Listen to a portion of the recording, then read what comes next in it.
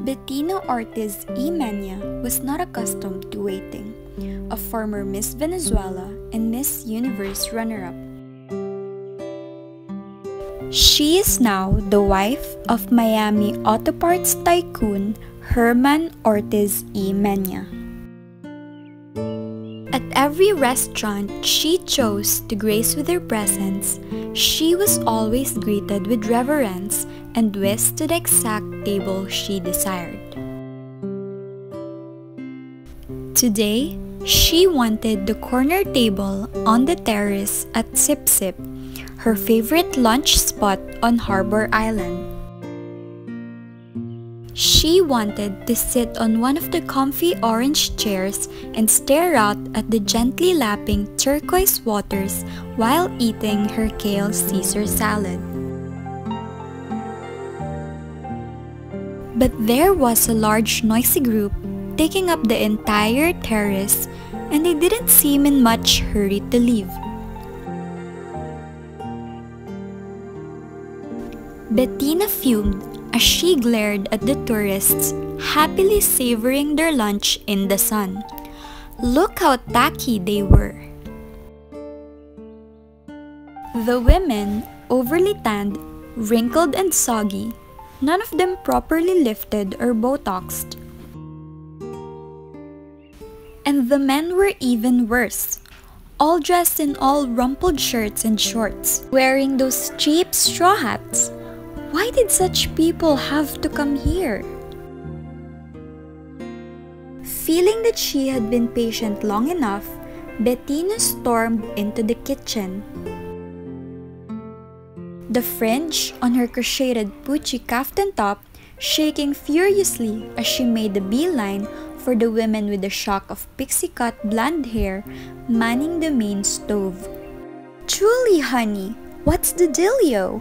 I've waited more than 15 minutes for my table. Sorry, Bettina, it's been one of those days.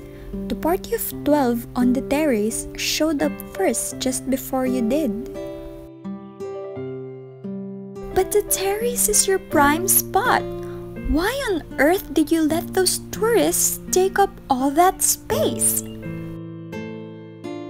Well, the tourist in the red fishing cap is the Duke of Glencora. His party just boated over from Windermere. That's his royal Huisman you see moored off the coast. Isn't it the most handsome sailboat you've ever seen? I'm not impressed by big boats. Bettina huffled, although secretly she was rather impressed by people with big title. From the kitchen window, she surveyed the party assembled on the terrace with new eyes. These aristo British types were such a strange breed. Sure, they had their Savile Row suits and their heirloom tiaras, but when they traveled, they looked so painfully frumpy. It was only then that Bettina noticed three tan, well-built men in fitted white t-shirts and black Kevlar pants sitting at the adjacent table. The guys weren't eating but sat watchfully, sipping glasses of seltzer water. I assume that's the Duke's security detail. They couldn't be more obvious. Don't they know that we're all billionaires here in Briland and this isn't how we roll? Actually, those bodyguards belong to the Duke's special guest. They did a whole sweep of the restaurant before the party arrived. They even searched my walk-in freezer. See the Chinese fellow seated at the end of the table? Bettina squinted at the portly, balding, 70 something Asian man dressed in a nondescript white short sleeve golf shirt and grey trousers. Oh, I didn't even notice him. Am I supposed to know who he is? That's Alfred Shang.